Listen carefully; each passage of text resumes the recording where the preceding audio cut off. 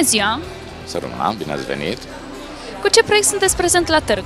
Suntem uh, prezenți la târg cu un uh, proiect nou în România, uh, sistemul de time sharing.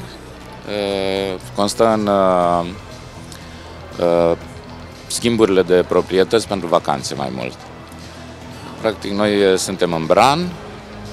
Dacă se dorește cumpărarea unei proprietăți acolo pentru o săptămână, din momentul acela proprietarul devine membru unui club internațional, un provider de schimburi de vacanțe și poate schimba în uh, vacanța proprietatea lui, o poate schimba în 80 de țări, 2900 de locații în lume.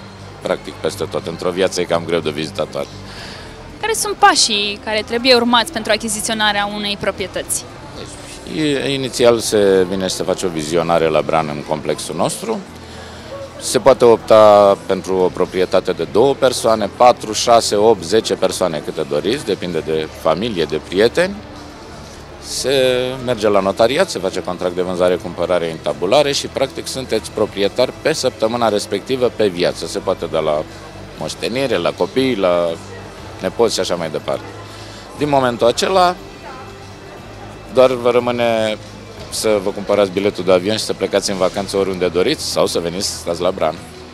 Există vreo limită de timp în ceea ce privește aceste vacanțe? Vacanțele sunt pentru o săptămână, dar puteți să cumpărați pentru două săptămâni. În momentul ăla sunteți practic proprietari de două ori. Chiar dacă în aceeași locație, dar schimbați două săptămâni. Puteți să le distanțați, una în vară, una în iarnă. Nu știu, depinde de alegerea fiecăruia.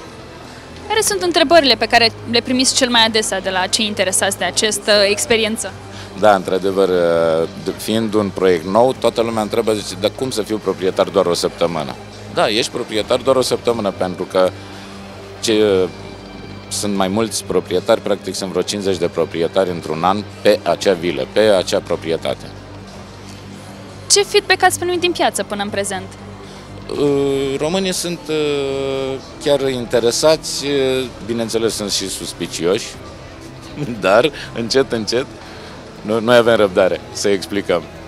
În lume proiectul este de 50 de ani, funcționează. La noi suntem primii. Ca orice proiect nou, puțin mai greu, dar avem încredere că va fi bine. Ce așteptări aveți pentru cele trei zile de târg? Să sperăm să stăm cu cât mai mulți oameni de vorbă, să le explicăm. Practic vreau doar să explic. Cât mai mult să explic, să, să fim bineînțeleși. Și, bineînțeles, să începem să vindem. Mulțumim și mult succes pe FITA! Mulțumesc din suflet și dumneavoastră!